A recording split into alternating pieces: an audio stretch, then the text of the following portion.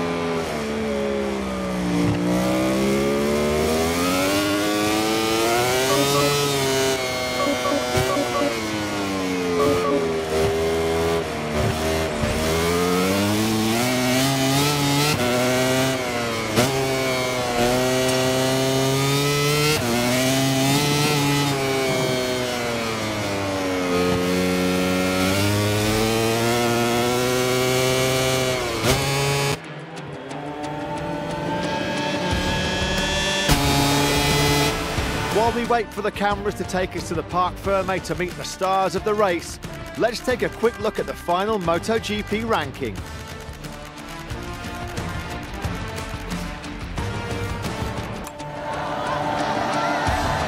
The cameras are taking us into Parc Ferme to the race winner, who is rightly celebrating with his mechanics. If he continues like this, it will be difficult for his rivals to catch up with him.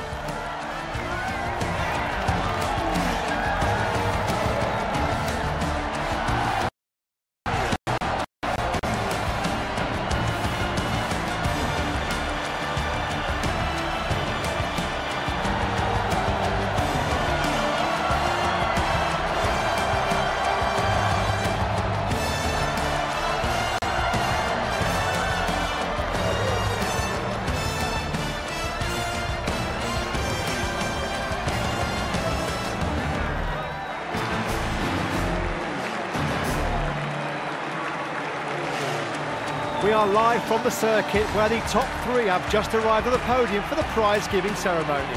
Call him Fabio, call him El Diablo. He always wins and makes it look easy. What a crazy race from Quartararo.